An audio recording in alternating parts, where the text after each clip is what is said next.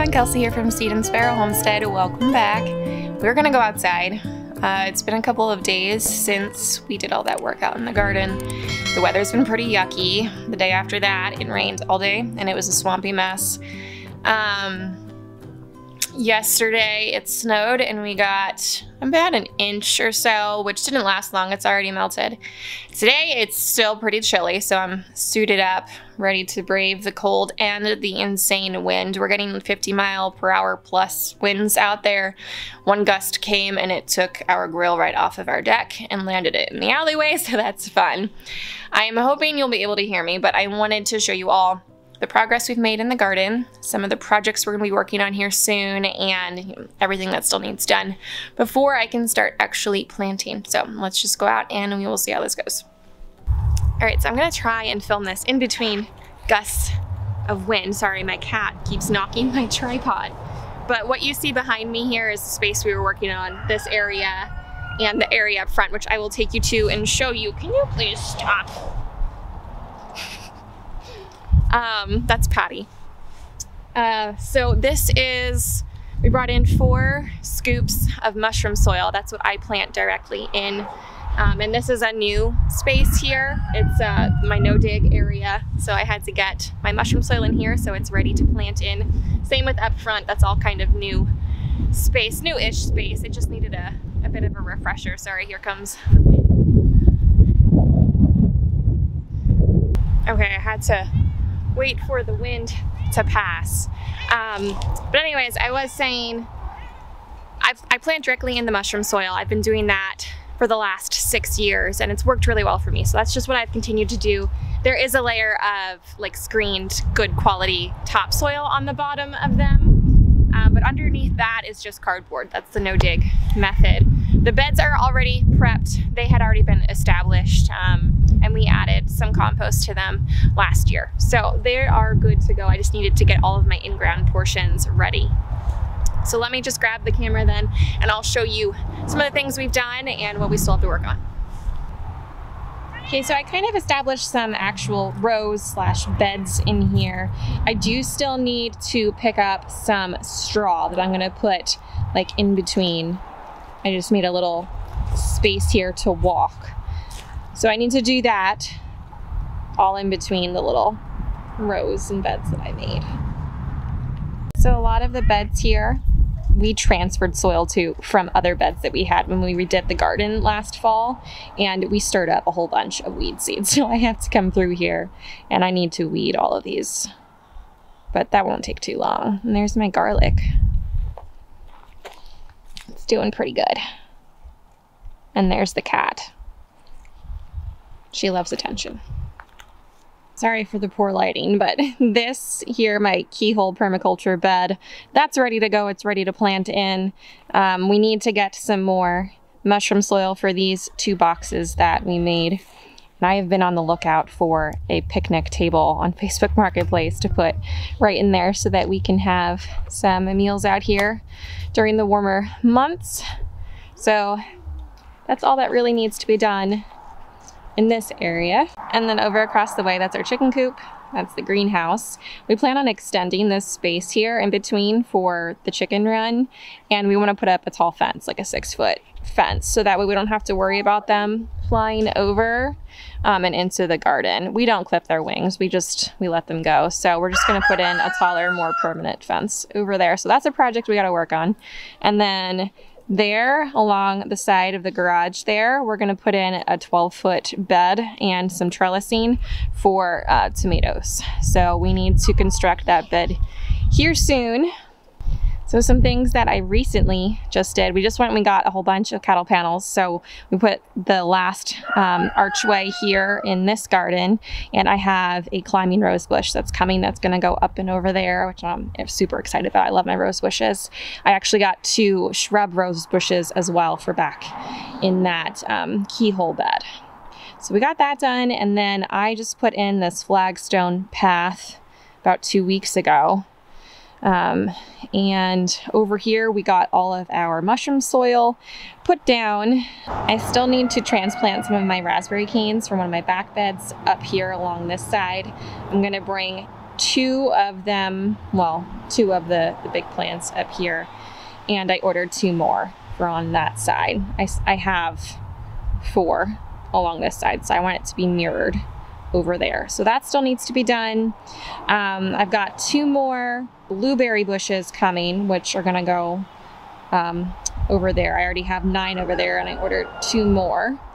And then we just put in these three cattle panels for a nice long um, tunnel, which I think I'm going to grow my winter squash on.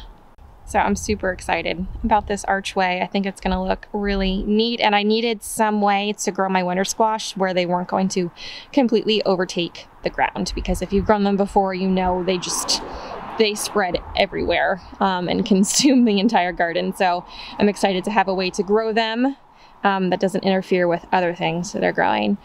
Um, something I have to do, I need to turn under this grass, put down some cardboard, and then spread the rest of this mushroom soil down there. This is all going to be for potatoes. I'm gonna do a Ruth Stout, like a modified Ruth Stout. I'm still gonna push my potatoes down into the ground and then I'm going to cover them with straw. So I need to get that done here soon. And then the last thing, let me walk over here. The last thing I need to do over here, I need to put down some more of my ground fabric here and lay more wood chips. I ran out. But then this whole area will be complete and ready for planting. So this is what we've got going on this year. We've expanded about probably 50% more growing space than what we had last year. So I'm super excited about that. I'm gonna have my work cut out for me, but it'll be a lot of fun. So let's get out of the wind and I'm gonna take you inside and show you how my seedlings are doing. All right, we are down in my basement, so it's terrible lighting down here. I apologize. Um, but I'm going to show you how all of my seedlings are doing. And I think I'm just going to bring them to the camera because the lighting over there is just absolutely terrible. So this whole tray here is all of my, not all of, some of my herbs. So I've got a ton of different basils. I love basil tea. I just love how fragrant it is. I love the flowers they produce. So I have probably like 10 or 12 different varieties of basil in here. I also have some thyme, marjoram, rosemary, and sage. Um, I think I did some lemon mint, and then everything else is basil. So they're all doing really well. I do have to come in here and thin them out eventually, but they are doing good. This tray here has some of my peppers. These are some of the first things that I planted and they're doing really well. They're starting to get their actual, you know, true leaves now. Um, something I like to do when I come down here and water them and check on them, I like to run my fingers over them. Just kind of simulates the wind. You can also run a fan. I have to figure out where mine is, but for now I'm just running my fingers across them just to encourage strong roots and simulate that wind and acclimate them to what they're going to account encounter um, outdoors. So I started some Ajvarski, some banana peppers, nata pinos, cayenne, and jalapeno. I also have some um, paprika peppers and some Tabasco that are just starting to come up. Um, I decided to do them last minute, so they're behind. And then over here, I just recently planted some cabbages and some Brussels sprouts, some of which here have started to come up. Um, some I'm still waiting for them to sprout. So I got that tray. This little guy here is all of my onions. This is how I sow my onions. I put them in a small container and I sow them very thick. Um, and I will let them grow this way until I'm ready to plant them outside. They'll do just fine. I will come in here soon and give them a haircut so they're not flopping all over the place. Um, but I will just like pop out one of these sections and then just carefully separate each of the onions and put them into the ground. So that's how I do it. It saves a lot of space. They can handle it. They're really hardy. So there are my onions. I had one here that this is the second time I've tried getting some to germinate and I think the, the pack is just too old. So I'm not going to be having any of the cipollini this year, um, but I have Red Wethersfield, Red of Florence, and Southport White Globe. So that's what I've got going for onions. This little guy here is leeks. Same idea, I just have one container, a bunch of densely sown leeks, and I will just let them go like this and separate them once I am ready to plant outside. This tray of soil blocks, I don't even know if you're gonna be able to see, there is, I don't know if you can, maybe you can see that right above my finger right there. Um, these are celery and they just started to pop up. So this is an entire tray of celery. They take forever to, um, to grow. So I always start them early. Honestly, it's already taken them a little over two weeks to start to germinate and pop through the soil. So it's gonna be a while before they look like much of anything. This whole tray of soil blocks here is just a variety of different lettuce. And I do have some endive in here and radicchio. Yes, I do. So I've got Merlot, Butter Crunch, Lollo Rossa, Cimarron, Grand Rapids. This is endive, radicchio. Um, I have no idea how to say that one. and Slow Bolt over here. So um, this is for me and for my parents. I'm growing things for my parents as well. Um, so if you see a lot of something, it's because I'm growing for them too.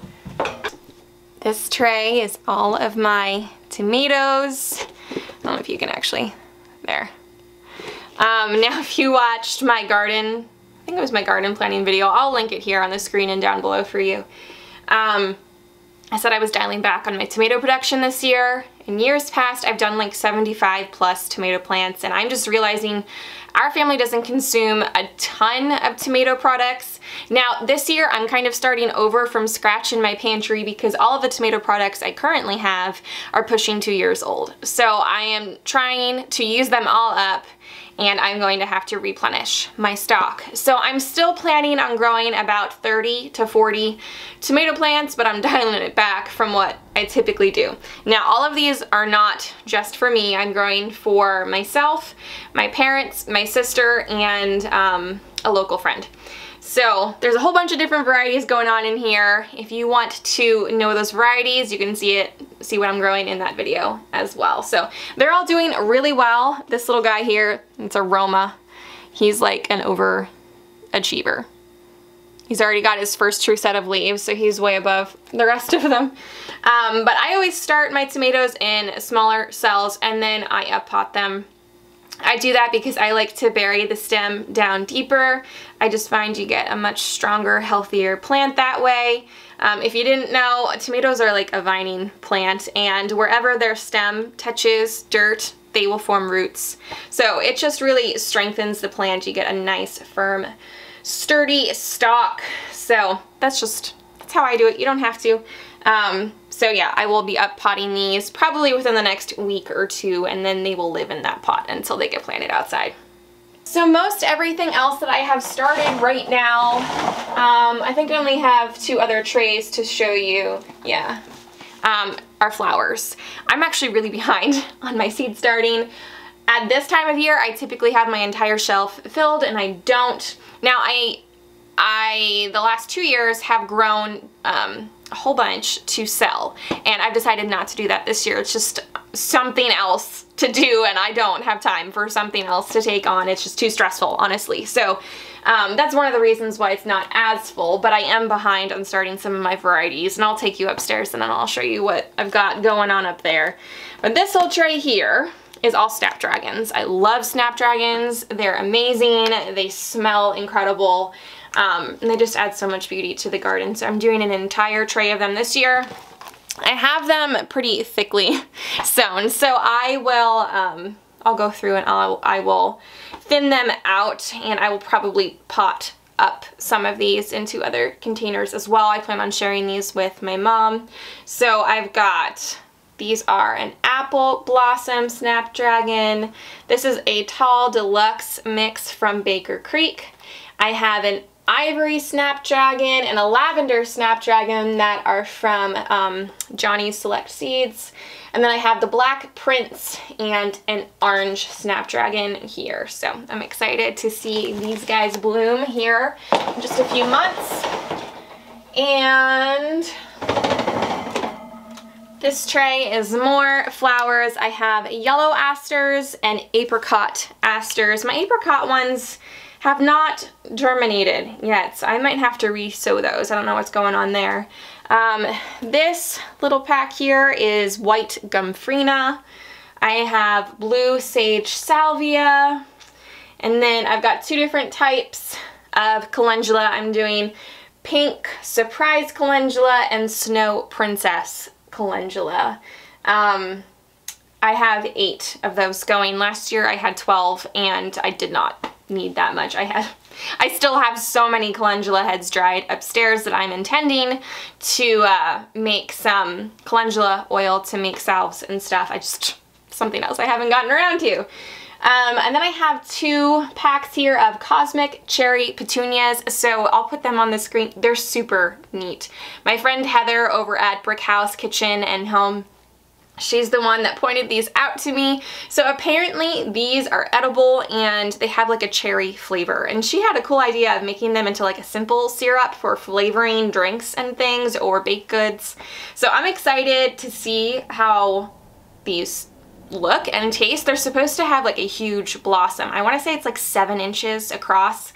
Um, I don't know if I said those are from Baker Creek. So those will be cool to see how they turn out. And then I've got two um, containers here of sweet peas. I have a Janet Scott and an Azure Blue, I think. So these I'm going to top here soon, so I'll just pinch up here and allow them to branch out. But I wanted to get these going um, because I have two like obelisk, obelisk, however you say that, that I want to build and have out there and these prefer cooler weather. So they're gonna go outside soon. They can tolerate some frost. Um, so that's all I've got going down here. I don't think I have anything else currently.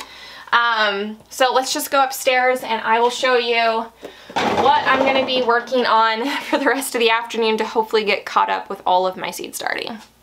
So this is my seed starting station, aka my dining room table, and this is pretty much how it looks until things have been all sown and planted out.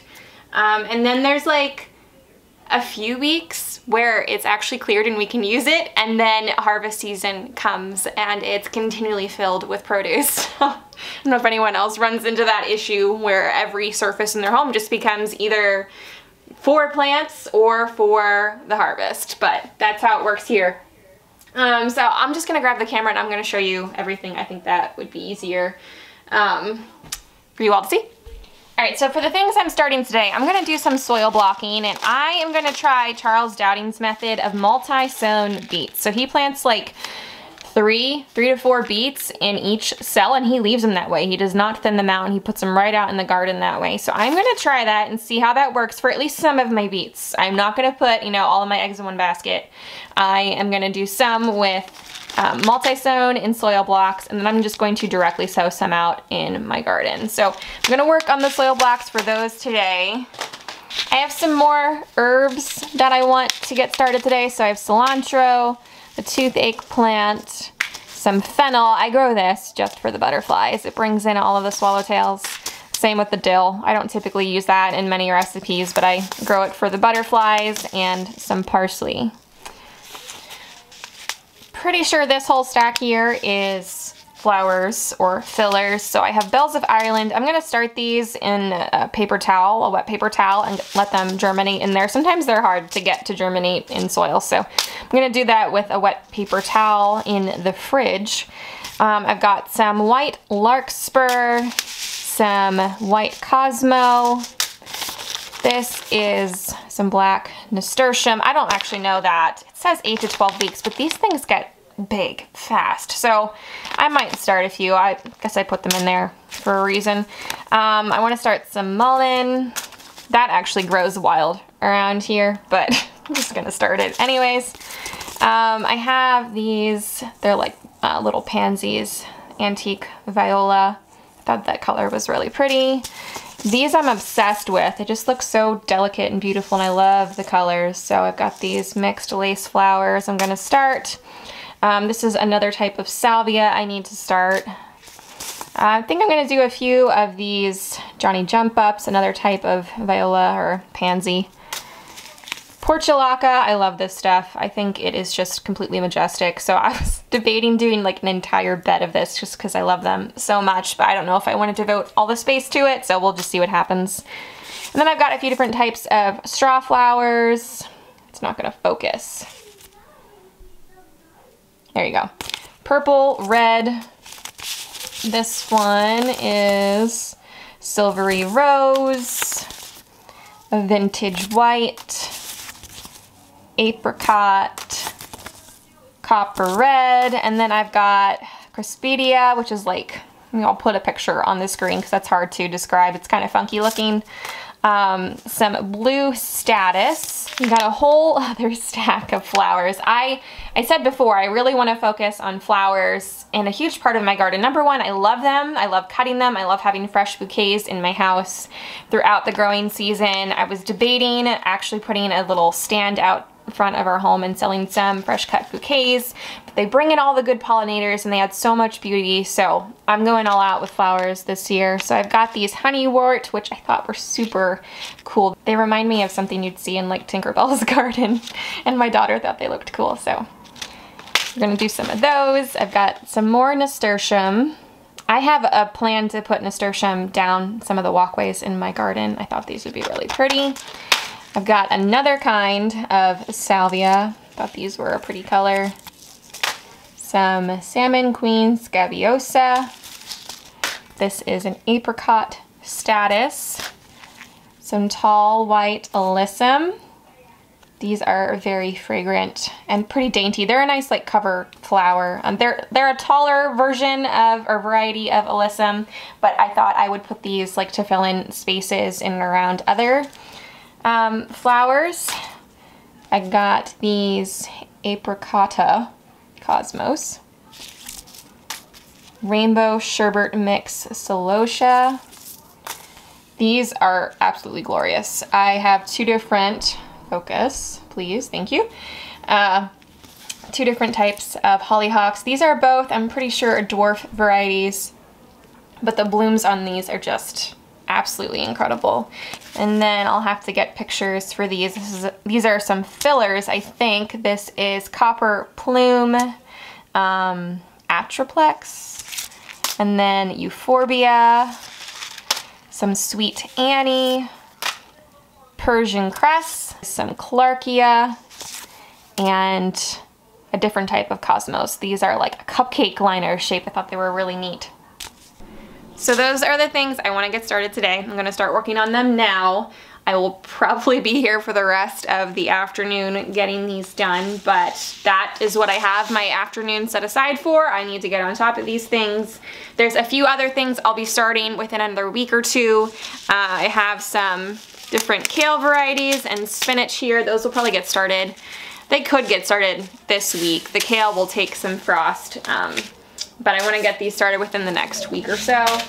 Um, I have all of my pumpkins, my winter squash, and I have some, uh, where is it? My zucchini rampicante here that that is what I'm growing in place of my summer squash, like your typical zucchini plants. This um, is a vining plant, so I'm gonna grow it up and over one of my trellises.